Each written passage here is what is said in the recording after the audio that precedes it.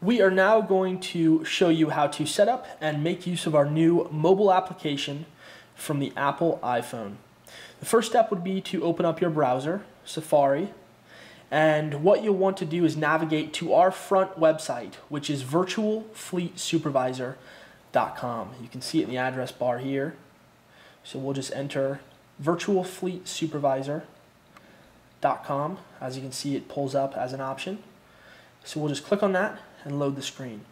Now, normally from a regular computer, this would actually load our full website. But in this case, because it recognizes that you're logging on from a mobile device, it gives you two button and two options. First one would be to visit the full website. The second would be to log into the mobile application. That's what we're going to do here. Now, once we log in, and I've got my password saved in another window, so we'll just navigate over there. The next step would be to sign in. You're going to sign in with your regular username and password as you would from a regular desktop computer. Once we sign in, you're going to have a few options. By the way, prior to signing in, one of the things I want to uh, point out is that people are very accustomed to downloading apps from the Apple iTunes Store. Uh, in this case, we have something that would be very similar in fashion. What you're able to do is click on the button at the bottom of the screen that allows you to add a bookmark, and we can add this bookmark to the home screen. So we'll click on Add to Home Screen. And in this case, we'll just call it VFS. You can obviously call it whichever you would prefer. We'll give it a name. We'll click Add. And then you'll notice that on your home screen now, the icon appears. In, in many ways, in many respects, it is very similar to having now an app on your home screen, even though you don't have to download this from the iTunes Store. So you can pull up this link at any time, and as you can see, what this will do is give you the uh, screen to log in from. So here we are. When you first log in, there are two options. One would be to view the current locations of your vehicles. The other option would be to view the stops those vehicles have made over the past 24 hours. So let's click on the current locations and start with that. Now, this will show us for all of the vehicles, uh, or this will give us three options. We can view all to see all of the vehicles. We can click groups to view them by group, or we can do a search for an individual vehicle. In this case, we're going to click view all so that we can go and look at each of our vehicles. As we scroll down, you'll see that we have one group named sales, one group named service, and then there's another one named supervisor, but there's no devices in that group.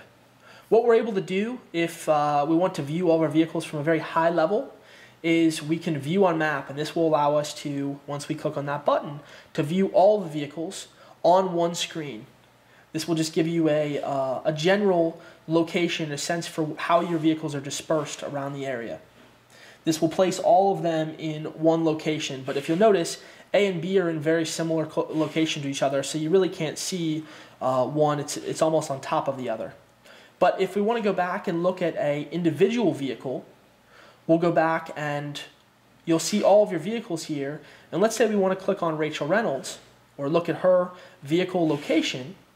Now we have the ability to see just her vehicle on a map.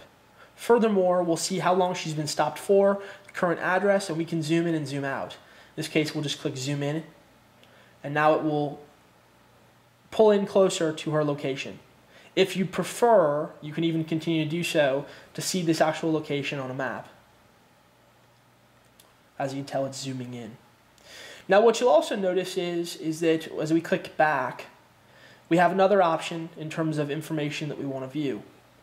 Uh, and that is, as I mentioned prior, the stops report. So we'll click on that button.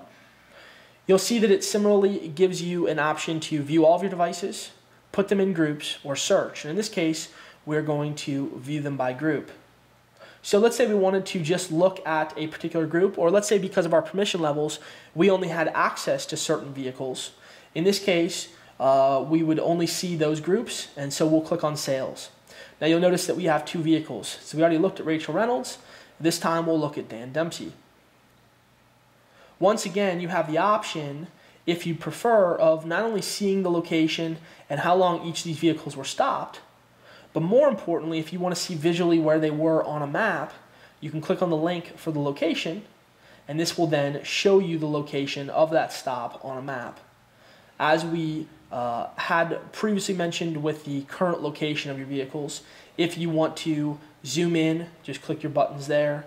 This will allow you to drill down and see a better view of exactly where that vehicle is located. This concludes uh, the overview and how to set up our new mobile application on an Apple iPhone.